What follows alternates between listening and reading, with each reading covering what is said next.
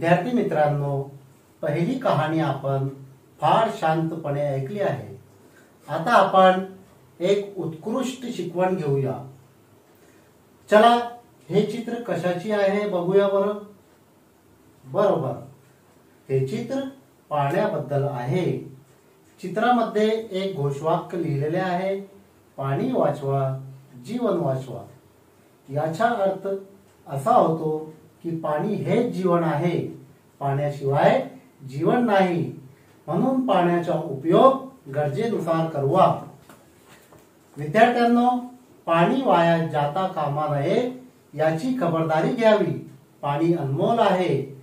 विद्यार्थ्यांनो पाणी वाया जाऊ नये. म्हणून तुम्ही काय काय उपाय कराल? तुमच्या उत्तर बरोबर. पाणी जपून वापरावे लागेल. पाण्याचा एक एक थेंब मूल्यवान आहे.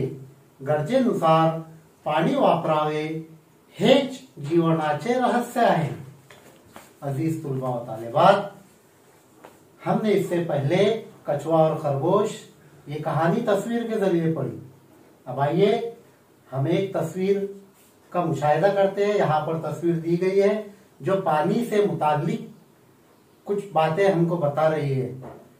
इसमें एक कॉल भी लिखा हुआ है कि पानी वाचवा, जीवन वाचवा। पानी बचाओ, ज़िंदगी बचाओ। प्यारे बच्चों, पानी जो है हमारे ज़िंदगी का सबसे अनमोल तोहफा है। हमने पानी को देखभाल कर इस्तेमाल करना चाहिए। अज़ीज़ तुलबा तालिबात ये था हमारा सबक। ये था हमारा सबक। आइए, अब हम जो है इसके मुतालिक कुछ घर काम के सवाल हल करेंगे।